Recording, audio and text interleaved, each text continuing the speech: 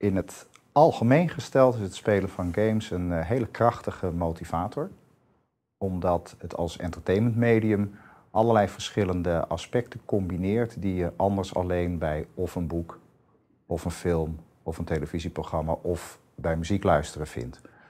Bij een game is dat geïntegreerd. En de, de, de effecten daarvan zijn dat spelers, als ze er eenmaal aan beginnen, sterk gemotiveerd zijn om door te spelen. Ook bij tegenslagen.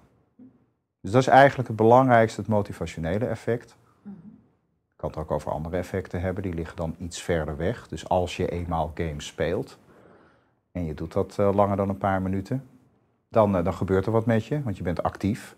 Je bent aan het nadenken, je doet iets met je handen, je doet heel veel met je ogen. En dat leidt dan tot weer andere effecten. De vraag of, of games in het onderwijs een toegevoegde waarde kunnen hebben, vind ik echt heel erg belangrijk. Omdat uh, ja, er, er, eigenlijk een hele mooie aansluiting is tussen uh, wat er in het onderwijs gebeurt, wat er beoogd wordt, de leerdoelen in het algemeen, of de ontwikkelingsdoelen van jongeren, wat breder, en datgene wat ze thuis doen. En we weten, daar is eigenlijk geen discussie over, dat uh, jonge mensen, overigens de jongens meer dan de meiden, zeer enthousiast aan het gamen zijn. Daar veel tijd in steken, veel moeite voor doen, teleurstellingen daarmee overwinnen, door blijven gaan. En dat zijn natuurlijk dingen die je in het onderwijs ook vaak aan de orde hebt. Men moet zich leerstof eigen maken. En ja, dat gaat niet altijd vanzelf. Dat ging nooit vanzelf. Daar is altijd een mevrouw of meneer de docent centraal in geweest. Dat is niet veranderd. Maar je zou dus kunnen denken naar manieren, en dat is ook al gedaan, dat is ook al in praktijk gebracht, om games in het onderwijs gericht in te zetten. Maar dan beginnen de problemen. Dan is de grote vraag, hoe doe je dat? En de daaraan gekoppelde vraag, welke games gebruik je daarvoor?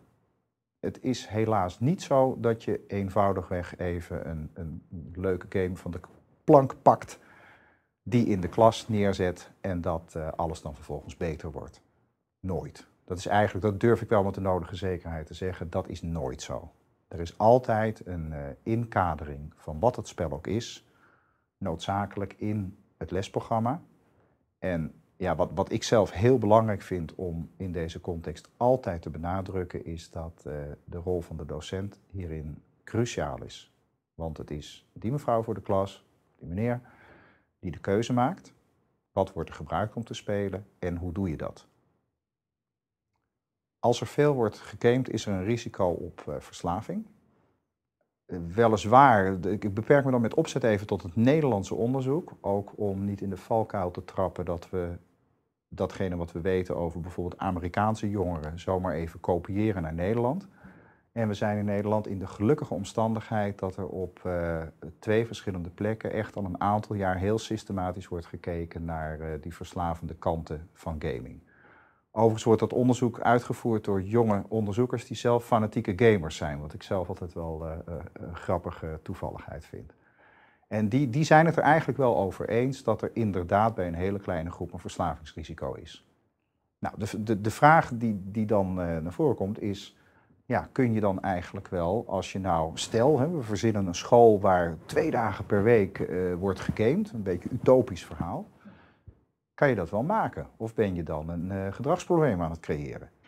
Want dat, ja, verslaving is een vorm van uh, pathologie als het eenmaal verslaving is. Nou, dan denk ik, dat valt mee. Dat zal ook altijd mee blijven vallen, omdat er zoveel beperkende factoren zijn die voorkomen dat een individuele gamer in een schoolklas verslaafd zal raken, dat ik niet zo'n afbreukrisico zie. Thank you.